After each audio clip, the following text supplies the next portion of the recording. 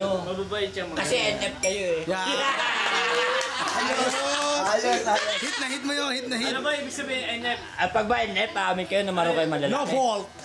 Halim- Halimbawa, halimbawa, ikaw babae ka, NF ka. Aamin ka, maro ka malalaki. Hindi naman. Double break. Double fix ba? Ay, hindi yung kanya bago na. No fault nga eh. kasalanan. Walang kasalanan yung babae natin eh. oh. Ayaw mag-share eh. oh, No fault. Mababait kami, mababait kami, mabait. Ka, maro ka malalaki. O, di. Kami inaarte. Isa-isayin natin. Ikaw ba'y mabait? Mabait ako. Ah, kita mo. Wala Ikaw ba'y ka- mabait? Mabait kasi talaga pa si ano Beth. Kasi ulan babae. Ikaw ba'y mabait? Naman?